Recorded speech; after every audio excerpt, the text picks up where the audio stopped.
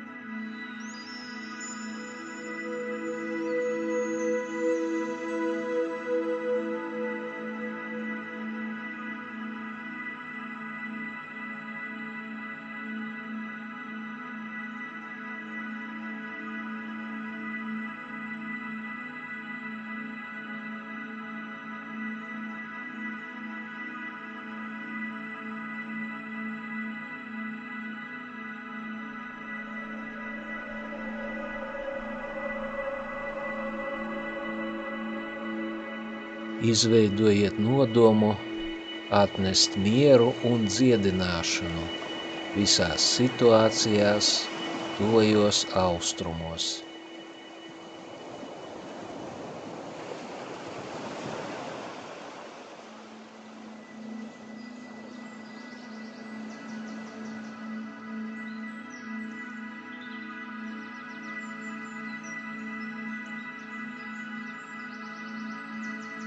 Vizualizējiet rozā gaismas kolonnu, kas nāk no galaktiskās centrālās saules un pēc tam nolaižas lejup caur jūsu ķermeni, aizejot dziļi zemes centrā.